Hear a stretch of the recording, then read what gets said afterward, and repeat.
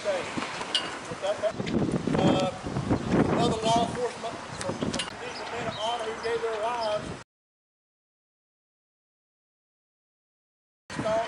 John Barter, parked out here, left out here, since the Hollywood I guess, was accepted.